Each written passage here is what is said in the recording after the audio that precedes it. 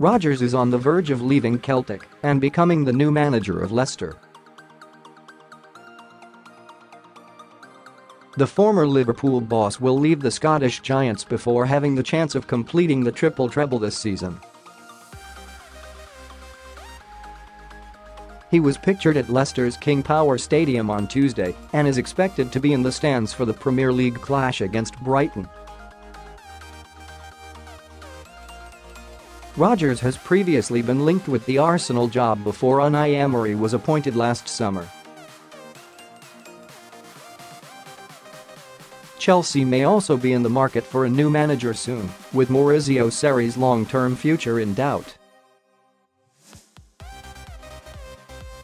Commons was asked on Sky Sports News on Tuesday, do you think at Leicester is a bigger job than the Celtic job? Commons was unequivocal in his response and says Rodgers wants to manage a top side in the Premier League again.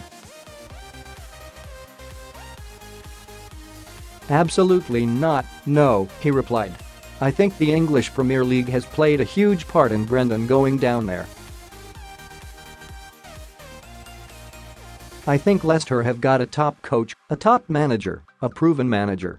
But I think, for me personally, Brendan's better than Leicester. I think he's proven that at Liverpool, he's proven that at Celtic. I think he's a tremendous manager, great coach and I think Leicester have got a real, real top manager there. Me personally, I think he's better than that. It wasn't that long ago that he was linked with the Arsenal job that's the sort of thing that Brendan wants. I think he wants to be winning titles, being part of cup-winning teams. Whether this is a stepping stone, whether or not this is going to be a couple of years job, to look at possibly the likes of an Arsenal, maybe a Chelsea, I think that's more in Brendan Rodgers' mind right now.